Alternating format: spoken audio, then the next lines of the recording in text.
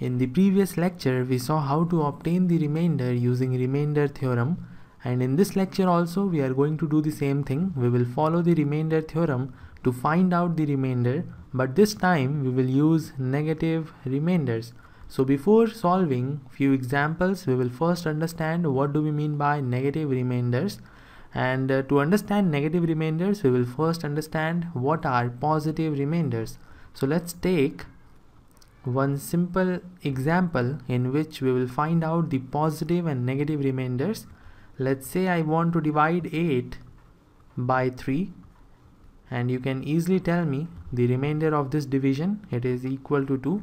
The remainder is 2 because we multiplied 3 by an integer which gives us the result which is closest and smaller than 8. 6 is closest and smaller than 8 and you can see we required 8 for perfect division but now we have 6 so 8 minus 6 is equal to 2 so we are short by 2 and it is the remainder of this division. And we call this remainder positive remainder. 2 is the positive remainder. Now we will try to obtain the negative remainder for the same division. We want to divide 8 by 3 and to obtain the negative remainder we will try to get the number which is closest and greater than 8 8 is the number which we are dividing by 3 and we want to multiply 3 by an integer which gives us the number which is closest to 8 but larger. Here the number was closest to 8 but smaller. So we will multiply 3 by 3 and it will give us 9 9 is closest to 8 but greater. We required it but now we have 9 so 8 minus 9 will give us minus 1 this is the remainder of the division but this remainder is negative remainder. So we have minus 1 as the remainder. So for the same division 2 is the positive remainder and minus 1 is the negative remainder now the question is why we use negative remainders when we already have the positive remainders. We use negative remainders because in some cases the calculation is reduced by its use. For example, in this case, if you multiply 2 by a number, then the result will be definitely larger if you multiply minus 1 by the same number. So calculation is reduced and it will be evident when we solve one example in this presentation. So let's directly move to example number one of this lecture. If you remember the last lecture, we obtained the remainder when 17 multiplied by 21 was divided by 12 and we used the positive remainders. 17 was first divided by 12, 17 was first divided by 12 and the positive remainder in this case is equal to 5 because 12 multiplied by 1 will give us 12 which is smaller than 17 and closest. Then 21 was divided by 12, 21 was divided by 12 and the positive remainder in this case is equal to 9.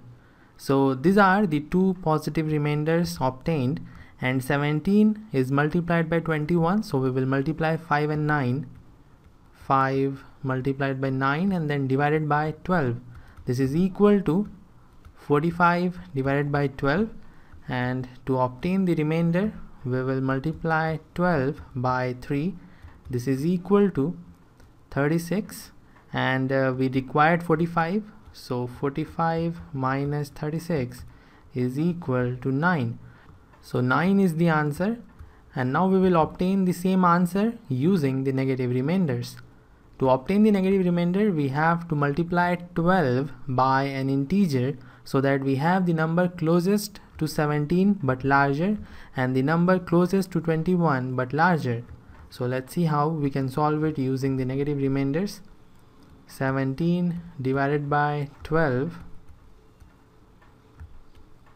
if I multiply 12 by 2 this will give me 24 we required 17 but now we have 24 so 17 minus 24 will give us the remainder equal to minus 7 which is the negative remainder.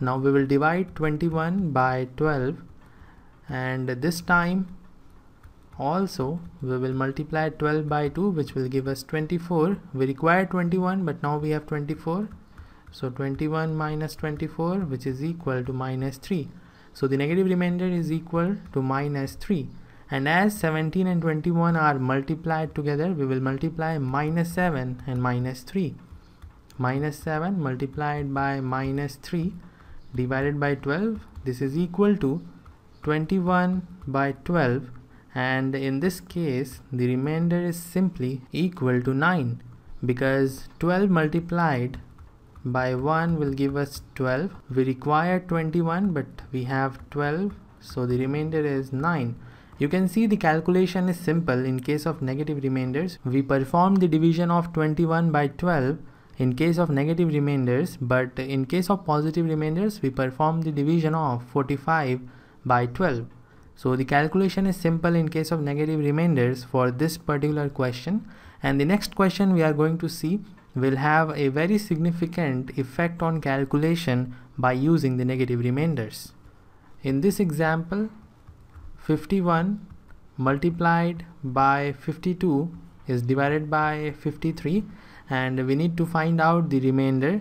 If you follow the remainder theorem using the positive remainders you will have a very long calculation because in that case 51 divided by 53 will give us remainder equal to 51 and 52 divided by 53 will give us remainder equal to 52 51 multiplied by 52 and then divided by 53 will be the same as the given question. So you have to perform the long calculation and it will be difficult to obtain the remainder. Now we will use the negative remainders and you will see the calculation is reduced. 51 divided by 53 we will multiply 53 by 1 this will be 53 we needed 51 we have 53 so 51 minus 53 will be equal to minus 2 so the negative remainder is minus 2 and now we will divide 52 52 by 53 and the negative remainder in this case will be minus 1 we will multiply minus 2 and minus 1 and then divide them by 53 this will be equal to 2 divided by 53 and the remainder is simply equal to 2 so this is the answer. You can see the numerator in this case it is 51 multiplied by 52 but in this case it is simply minus 2 multiplied by minus 1 so sometimes it is good to use the negative remainders to find out the remainder. If you have any question you may ask in the comment section. Now we will move towards the homework problems. I have two homework problems in this presentation.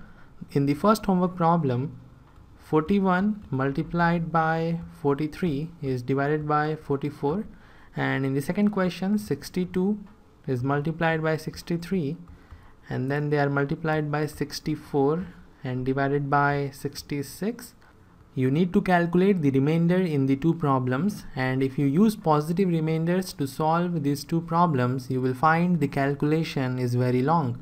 So use negative remainders to solve these two problems.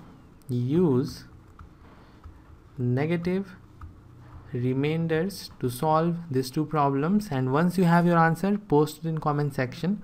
I will end this lecture here. See you in the next one